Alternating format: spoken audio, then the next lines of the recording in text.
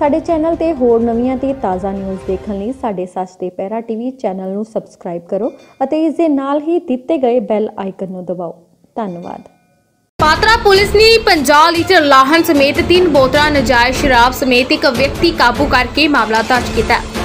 ਹੈ। ਪੁਲਿਸ ਨੂੰ ਉਸ ਸਮੇਂ ਭਾਰੀ ਸਫਲਤਾ ਮਿਲੀ ਜਦੋਂ ਦੌਰਾਨੇ ਗਸ਼ਤ ਮਿਲੀ ਗੁਪਤ ਸੂਚਨਾ ਦੇ ਆਧਾਰ ਤੇ ਸਹਾਇਕ ਥਾਣੇਦਾਰ ਨਿਰਮਲ ਸਿੰਘ ਨੇ ਗੁਪਤ ਸੂਚਨਾ ਦੇ ਆਧਾਰ ਤੇ ਗੋਲਡੀ ਵਾਸੀ ਸ਼ਿਸ਼ਤਰਾਣਾ ਦੇ ਘਰ ਰੇਡ ਕਰਨ ਤੇ 50 ਲੀਟਰ ਲਾਹਨ ਅਤੇ ਤਿੰਨ ਬੋਤਲਾਂ ਸ਼ਰਾਬ ਨਜ਼ਾਜ ਦੀਆਂ ਬਰਾਮਦ ਕਰਕੇ ਬੰਦੀ ਕਾਰਵਾਈ ਸ਼ੁਰੂ ਕਰ ਦਿੱਤੀ ਹੈ